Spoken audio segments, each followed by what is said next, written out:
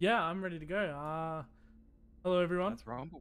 Uh, my name is Jimmy Boy. I uh, play a lot of scary games and also weird and wacky games like Harry Potter and stuff. Uh, I've just been Quidditch? chosen Quidditch World Cup. I'm I'm working on it.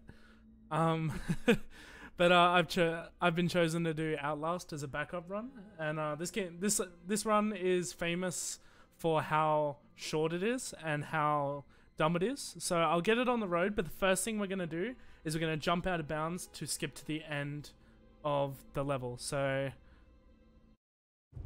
we load up into the game, and this just skips the full the first full cutscene of us arriving at the asylum. The asylum, the, the big building that everyone knows. So now we're now in game here. So now we Do we need to start the timer? uh yes, sorry. Alrighty, there we go. so uh, we now run over to here, and there's a small uh, little skip here where if I just jump up here a couple of times, I will land on top of the bush. It, it isn't as consistent as the other strat, but it's the only strat I really know, so I'm just gonna go for it. Trust me.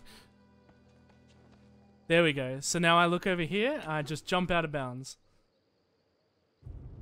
And now we're in the last level.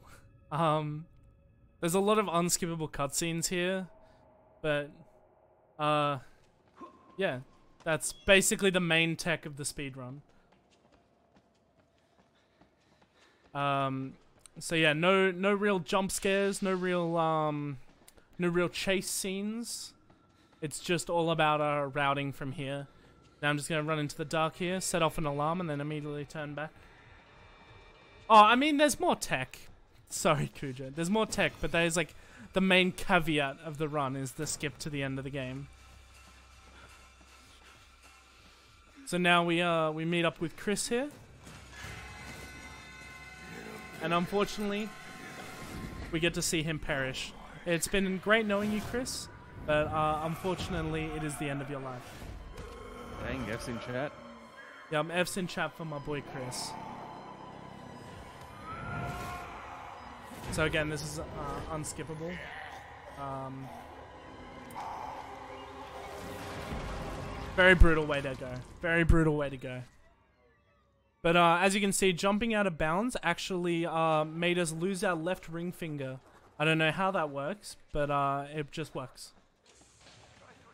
So here again is another unskippable cutscene. So um, this game is a lot of like quick run cutscene, but um, this is a huge uh, piece of plot. Wernicke skip. Yeah, there is a skip for this, but uh, I'm quite new to this game, I guess.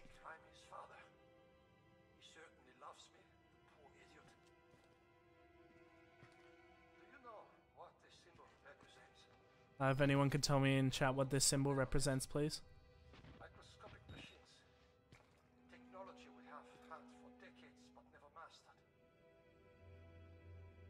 Oh yeah, I guess. my research a workaround. I guess Kujo is probably better at this game than me because he's telling me a lot about this game that I didn't know. It's the natural function of cells to produce molecules.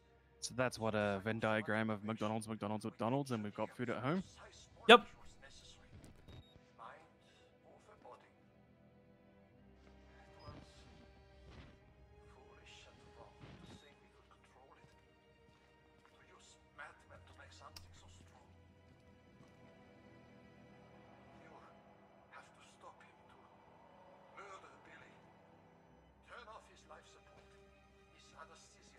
Okay, we're about to get out.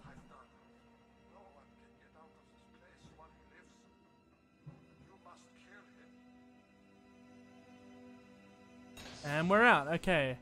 Uh, that that's really the longest part of the the run without any gameplay. So uh, now it's just running. So we run around this corner here, and there will be a guy come out there, but he won't get us. Trust, trust me, trust me.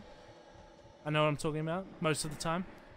Uh, we're gonna jump through here. But yeah, um, I highly recommend anyone learning this, like, to learn this because it's just a fun, like, if you're in Discord and you've got nothing else to do, just boot up Outlast and just keep doing Outlast runs because they're like 10, 10 minutes long. They're, they're just a bit of bit of time to time to waste. Fun party trick in the spooky season. Yes. October. Put it in your Tinder bio. I can finish uh, Outlast in under 20 minutes.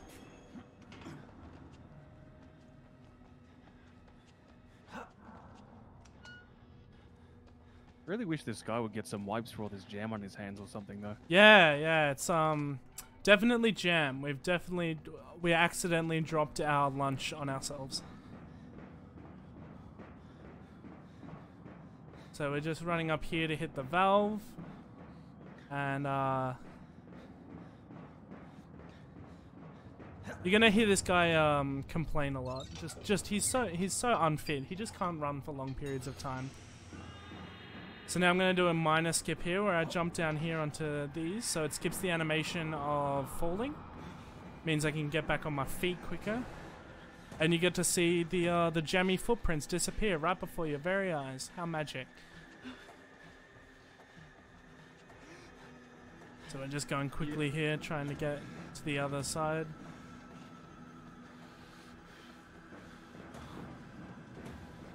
Yeah, sorry chat, I'm not very familiar with Outlast. It appears to be tomato relish. Oh, right. Got to keep that in mind in future. Love me some tomato relish. Okay, we're about to scale this giant piece of scaffolding. Scaffolding? I mean, it's not really scaffolding, it's just stairs. But once we hit uh, the point in which there is no light, we know that we're about to do our big jump. I do not know the the swag strat here, so I'm just gonna go for it. Just a regular jump.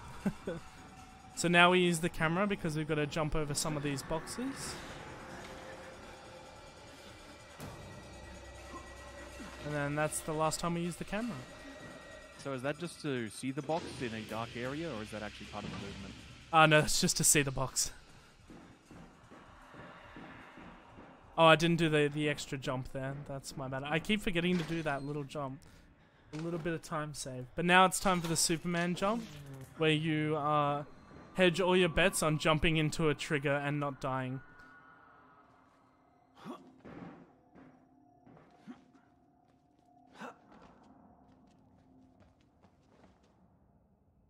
I didn't get it.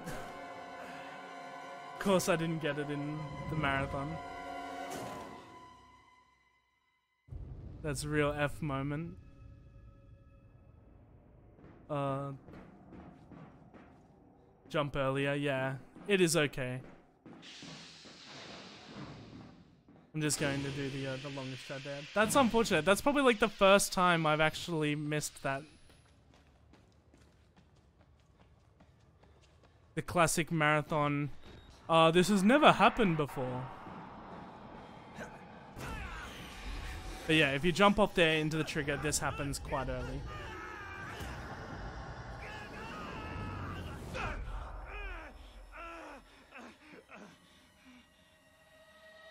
Uh, the old marathon luck. Really bodes well for my next two runs in this marathon.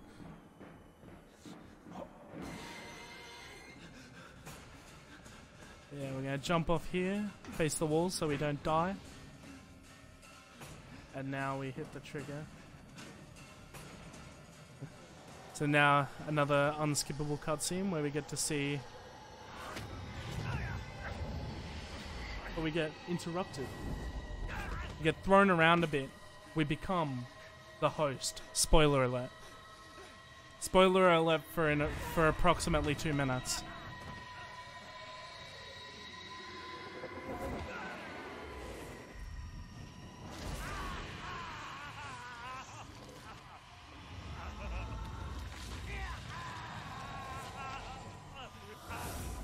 Long fall here, and now we big limp. we become the host, Dotton him. So yeah, if you like if you like horror games but you don't like getting scared, learn the speed run. It's what I did with Amnesia: The Dark Descent.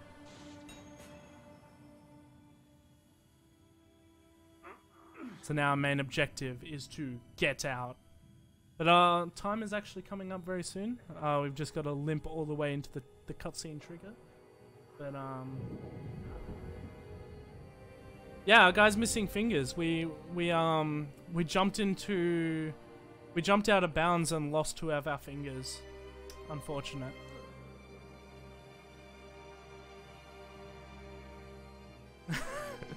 I'm loving all of these comments about this game in chat. Thank you guys so much. But um yeah, we're coming up on the end here. There is a long cutscene, but the uh, the time is in three, two, one, go.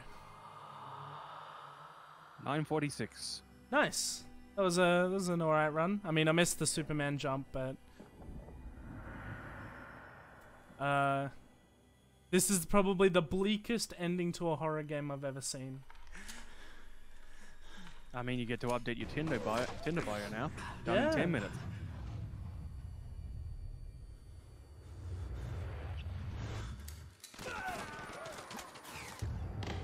We get lit up. You have become the host. There we go. We become the host.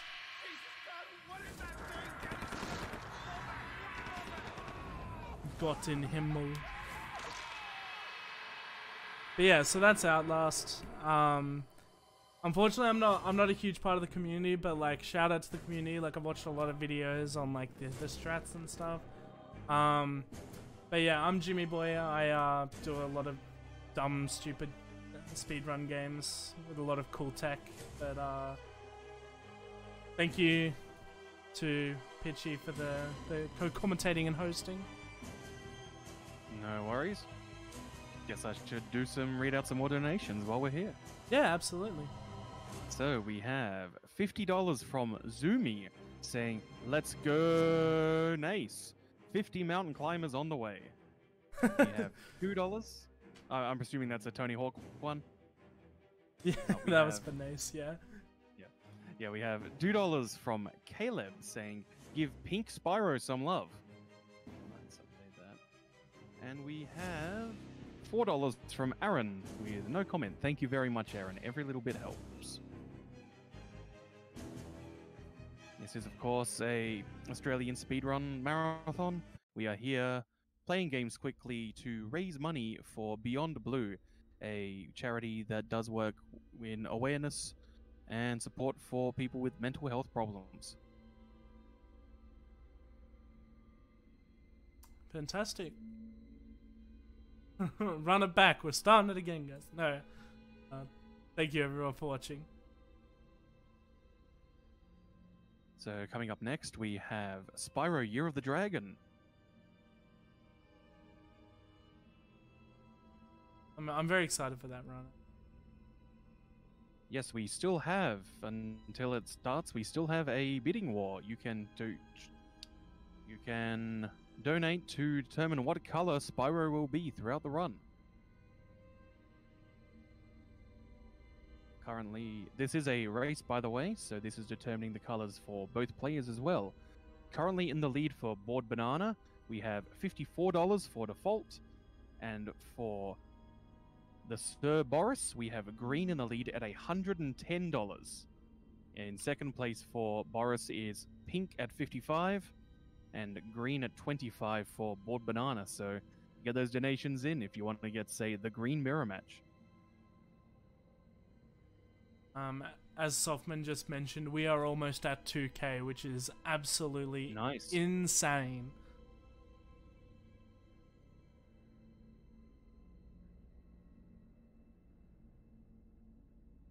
Course, later on tonight, we have The Simpsons Hit and Run by Liquid Wi Fi, then Middle Earth Shadow of War by Rycon Gaming. So, plenty of fun things coming up. And stick around, coming up next again is Spyro Year of the Dragon.